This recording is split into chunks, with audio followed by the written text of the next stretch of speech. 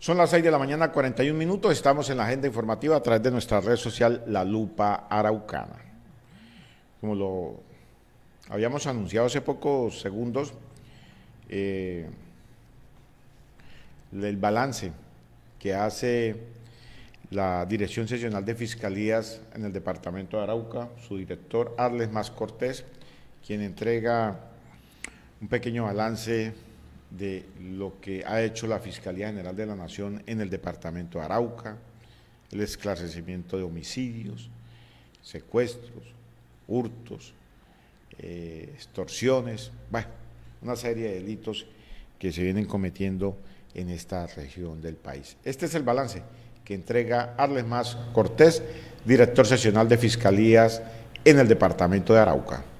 Con fundamento en su pregunta, pues quiero darle a conocer que cumpliendo con el desarrollo y las estrategias investigativas que tienen por objeto contrarrestar la criminalidad en el departamento de Arauca y con unos objetivos que fueron propuestos por el señor fiscal general de la Nación, Francisco Barbosa Delgado, la seccional Arauca va a empezar a entregar unos resultados que resultan contundentes dentro de los diferentes delitos que afectan la seguridad ciudadana en el periodo comprendido entre el año 2020 y el año 2023, eh, donde vamos a determinar unas cifras que van a ser puntuales en temas de criminalidad organizada. Cuando se inició esta administración, iniciamos con un nivel de esclarecimiento del 7%. Hoy se cierra el ciclo, por decirlo así, a esta fecha, con un nivel de esclarecimiento del 63% en temas de criminalidad pero voy a proceder a explicar cada una de ellas en las dinámicas que corresponden.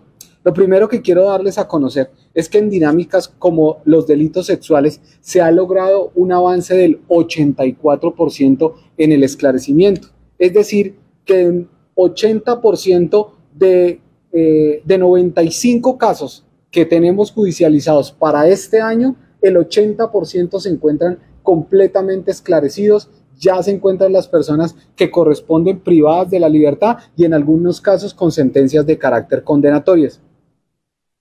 Si nosotros reflejamos los años anteriores, esta modalidad delictiva nos daba un porcentaje del 7%.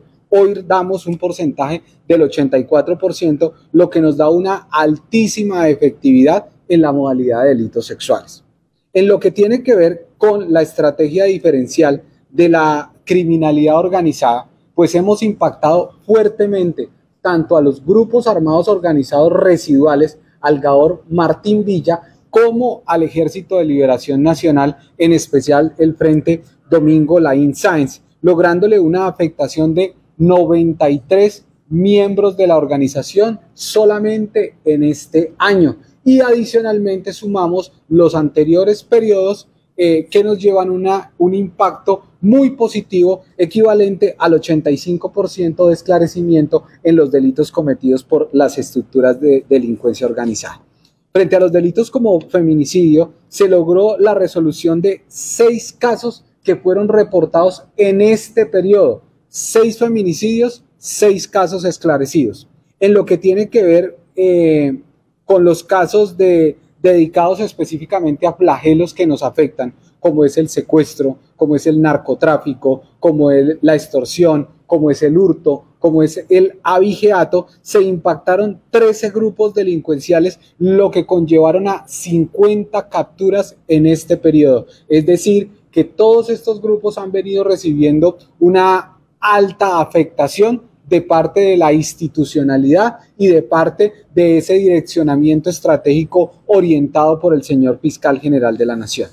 Esas son las cifras que me parece que son supremamente importantes dar a conocer. Miren, el homicidio en el año 2020 era del 7%, lo entregamos con un 63%. El homicidio de mujeres, arrancamos con un 33% en el 2021, hoy lo entregamos con el 86%. Eh, la violencia sexual en el 2020 era del 7%, hoy la entregamos en el 2023 con un 84%. La violencia intrafamiliar, que arrancó con un 19%, hoy la entregamos con un 96%. ¿Y esto a qué obedece? A que la gente tomó la decisión de denunciar.